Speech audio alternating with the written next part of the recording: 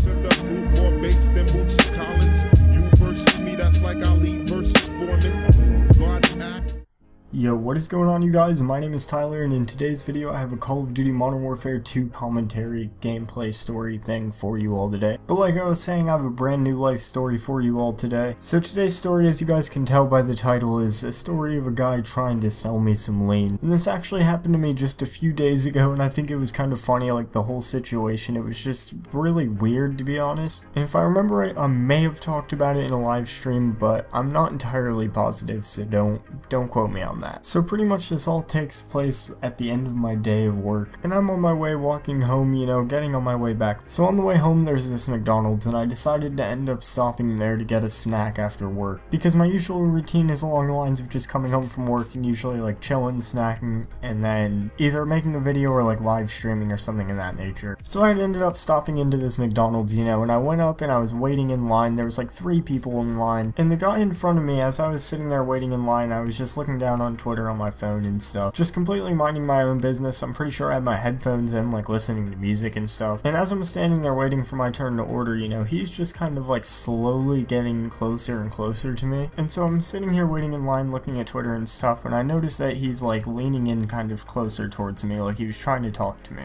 So I took one of my headphones out of my ears and I was just sitting there like looking at him, just listening for what he had to say. And he just kind of quietly whispered to me and he said, yo dude. And then he repeated himself and said, yo dude again. And I kind of glanced over at him and I was like, what's up bro? And the first thing he says to me is, hey man, you trying to buy some lean or you know anyone who wants to buy some lean? And immediately I just replied to this guy, no. And in my head I'm sitting here thinking like, what the fuck is this dude doing? Like why is he just randomly asking me if I want to buy lean? Like what the fuck is this? Like this dude has no idea who I am. I could be literally a fucking cop. I could be like a fucking federal agent or some shit. And so to continue on, like the dude just kind of goes back to what he's doing waiting in line and I'm sitting here waiting to order. So I end up ordering my food and then going and just waiting for it to be done and I'm sitting here like at the little bar table. And so I'm sitting here still scrolling through Twitter on my phone like at the little bar and I see the guy who offered to sell me lean like just kind of walking around waiting for his order as well. And so I keep just looking at Twitter and stuff and then I look back up and I notice that he's kind of walking across the store back over towards me. And I'm just thinking to myself like, oh boy, here we go again. And so the dude walks up to me this time with his phone out in a picture and he like walks up and shows me a picture of these Air Jordan Flu Game 12s.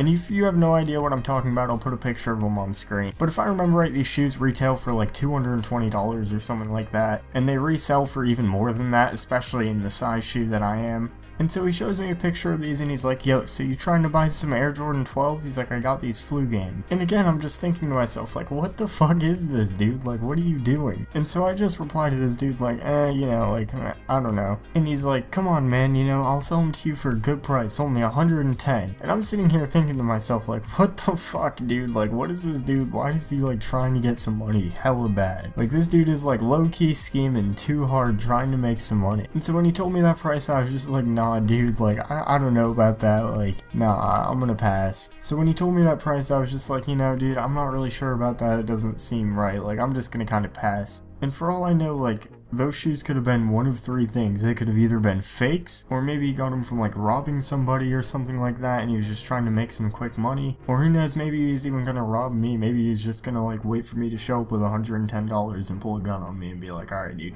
give me your money. I have absolutely no idea, but it was just like such a weird thing and such a strange incident. But other than that, nothing else really happened. And like, hopefully you guys enjoyed this story. I know it's not the craziest of stories or anything like that, but I still figured you guys might enjoy it. But anyways, thank you all so much for watching. And if you're new to the channel, please be sure to subscribe. That would help me out a lot. You know I love you guys. I'm out.